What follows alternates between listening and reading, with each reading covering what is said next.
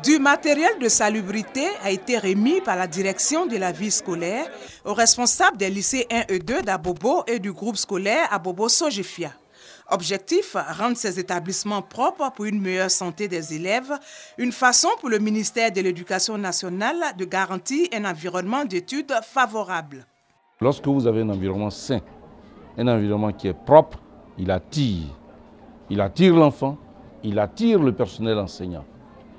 Et évidemment, à l'école.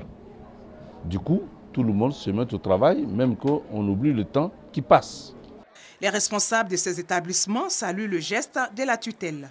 L'exemple que donne Madame le ministre, en s'impliquant elle-même, euh, nous engage, nous tous, dans cette vision, euh, cette vision de rendre les établissements propres parce que il y va de la santé des élèves et c'est très important. Quand établissement est propre, quand la cour de récréation est propre, quand c'est salubre, euh, les enfants sont en bonne santé et donc le travail que nous recherchons, le bon résultat scolaire que nous recherchons, les objectifs sont atteints. Démarche similaire pour les élèves qui n'ont pas manqué d'exprimer quelques doléances.